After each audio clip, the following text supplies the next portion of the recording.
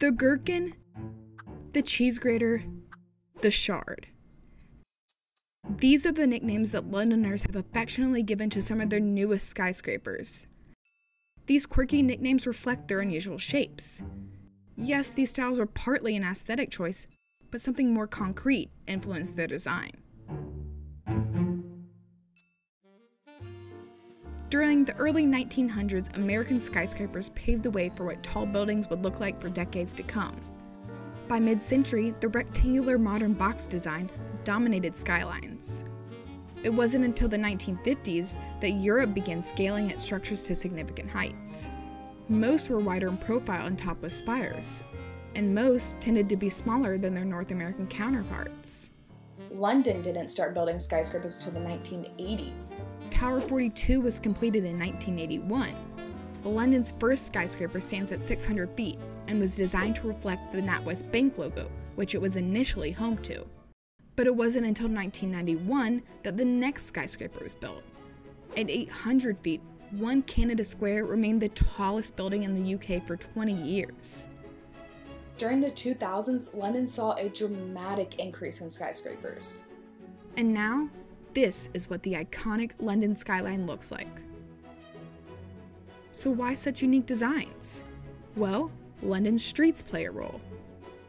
The City of London, as I say, is a historic centre and it is based uh, on a medieval plan, which means uh, uh, small plots of land, funny shaped uh, plans. And so that meant that the actual shape of the building was going to be impacted. And London's skyline has also been a playground for experimental architects.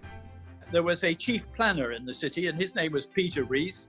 And he will admit that he uh, would get bored very easily. He didn't want to see the same old buildings turning up every time, and he had quite a hand in uh, pushing through uh, interesting buildings. While the skyline is partly a result of tight plots of land and innovative architects, one building built 400 years ago has arguably been the most influential. During the 17th century, the London skyline mainly consisted of church spires. The largest one being St. Paul's Cathedral at 460 feet tall. It was a landmark of the city and a popular spot for gatherings such as speeches, sporting events, and trade. But on a hot summer day in 1666, a fire broke out at a local bakery. London had not seen rain for weeks, and the blaze rapidly spread throughout the city. Efforts to contain the flames mostly failed, and much of the city was destroyed, including the iconic St. Paul's Cathedral. The disaster is now known as the Great Fire of London. But Londoners sought to rebuild the city. The construction of the new St. Paul's began in 1675 and was completed in 1711. As development of the city continued, the cathedral remained dominant on the London horizon. Then in 1861, the Tooley Street fire killed the chief of fire. This led to a call for a limit in building height for fire safety. However, it wasn't the fear of fire that made for the most change. In 1889, workers completed construction on a 130 foot tall residential building near Buckingham Palace. It was viewed as a blemish on London's skyline of chimneys and church spires. Queen Victoria objected to it as it blocked her view of Buckingham Palace. Following a stint of bad press, the city established the London Building Act in 1894, stating that any new building should not be erected of or subsequently increased to a greater height of 80 feet exclusive of two stories and the roof. But architects cleverly got around the height limitation by adding steps back from the facade to add an extra two or three stories, reaching a total height of 100 feet. And by the 1930s, several buildings surpassed the 80 foot limit. But people were picking up on this trick. People like W. Godfrey Allen. Allen was appointed surveyor to the St. Paul's Cathedral in 1931, and he wasn't too fond of the newly crowded skyline. The view from Blackfriars Bridge has been spoiled by the hideous new telephone exchange building in front of Queen Victoria Street. He put together a series of photographs that displayed how the London Building Act was limiting the views around the cathedral. He then manipulated the photos to show what buildings of up to 100 feet would look like around St. Paul's Cathedral. Allen's argument resulted in a gentleman's agreement called St. Paul's Heights that would protect the vistas of the dome.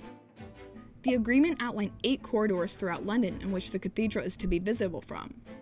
One of these corridors allows the cathedral to be seen from King Henry's Mound 10 miles away. According to the London Views Management Network, there are a total of 13 protected corridors that include other landmarks like the Palace of Westminster and the Tower of London. The agreement was officially put into practice in 1938 and later given policy status in 1989. In 1992, architect Norman Foster began designing a building called Millennium Tower. However, the original design was quite bulky and tall at 1,265 feet. Concerns grew that it would block out the protective views of St. Paul's. So Foster scaled down the building to 590 feet, and the design was changed. Completed in 2003, it now sits at 30 St. Mary Axe and is informally known as the Gherkin due to its cucumber like shape. And while the original height was affected by St. Paul's, its unusual shape is attributed to an additional factor. It was designed like that in order to allow the wind to uh, come around it without creating uh, very windy spaces at ground level. So that that that was shaped uh, very much by uh, the uh, climatic effects of that particular part of the city. Now, the Gherkin has become a defining part of the London skyline, and residents regard it as an important landmark of the city. In 2000, architects unveiled a proposal for a 1,312 foot tower. The building would pierce the London skyline with a pyramid like shape. But plans were slowed in 2003 when a public inquiry was launched in order to investigate the impact it would have on the corridors. Similar to the Gherkin, the height of the building would compete with the cathedral. But the Greater London Authority gave it the go ahead because of its unique shape that would allow for unobstructed views of St. Paul's. The height was reduced from 1,312 feet to 1,016 feet. The opaque exterior was replaced with transparent glass, and the pyramid-like shape stretched more vertically so that the top was as slender as possible. The final design was placed tightly between two corridors in order to maximize its space. And in 2013, the Shard opened. But perhaps one building was influenced more by St. Paul's Cathedral than any other. The cheese grater, the initial design, it was a vertical building. But as you look from a very specific point, which is protected, the view of the building and your view of uh, the dome of St. Paul's Cathedral bumped into each other. Uh, so it was thought that what they needed to do visually to separate out uh, the dome from the tall building, they came up with the idea of leaning the front of the building back so that as you looked from uh, a point in Fleet Street, you would see the dome, but you wouldn't see the building. So that meant that you had a big triangular shaped building. But London isn't the only city shaped by protected vistas. Vancouver, Canada has restrictions on buildings that preserve the views of the North Shore Mountains. And in San Francisco, guidelines provide building height ranges depending on the topography in order to protect the views of open spaces and water. Unlike these cities, London has no legal constraints. It is only policy.